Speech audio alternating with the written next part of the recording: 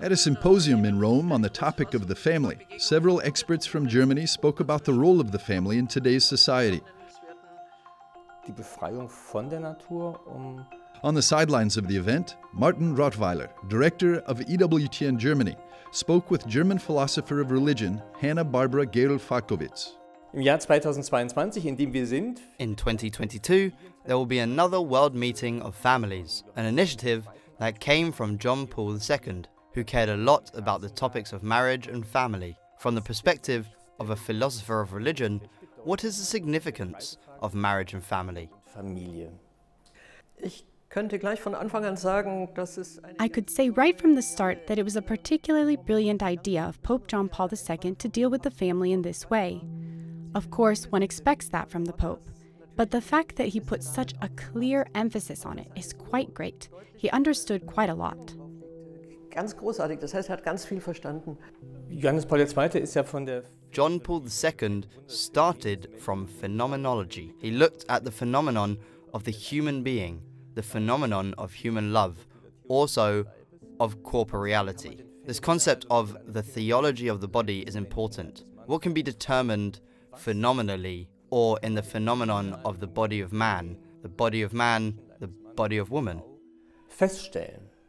Ich äh, unterstreiche nochmal, dass ein I underline once again that a pope who reflects on the subject of the body is also, in a certain sense, a novelty.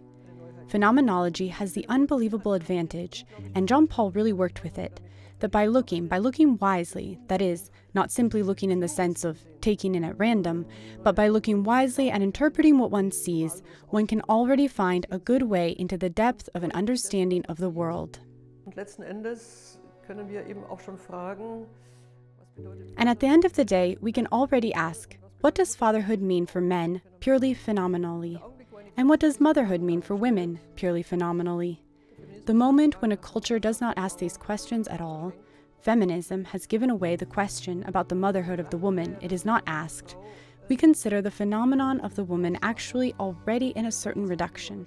Sooner or later, this takes revenge, because the moment we do not perceive something in its comprehensive entirety, the forgotten or suppressed part comes back with force at some point, and then, of course, as a punitive task and no longer as just a task. I think that if we really learn to read phenomena again, we will take on a very grateful task with it, namely to really take seriously what expresses itself in our body. Wir haben in der Anthropologie, wenn man das mal als We have in anthropology, if you take that as a big term, of course we have a share of biology. Why not? Where do we start if we don't start with biology? Of course, man is not only a biological being, of course not. Already an animal is not. An animal has a biological imprint, but an animal has learning processes, has adaptations. A dog can grow up with a human, takes on strange traits that it would not have in the wild. nicht haben würde. Wie kann sozusagen, How can a restoration of marriage and family succeed? kann sozusagen das gelingen? Die Botschaft heißt nochmal von der Kirche aus. The message is again from the church you alone, you forever, and from you a child.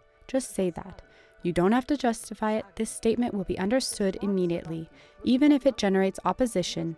But as long as I don't say that, as long as the alternatives are always there, it doesn't work.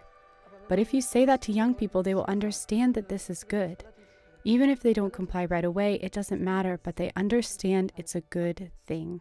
Aber dass es gut ist, das wird verstanden. Vielen Dank nochmal. Thanks again, Professor Gerl-Falkovitz. Sehr gerne. Vielen Dank.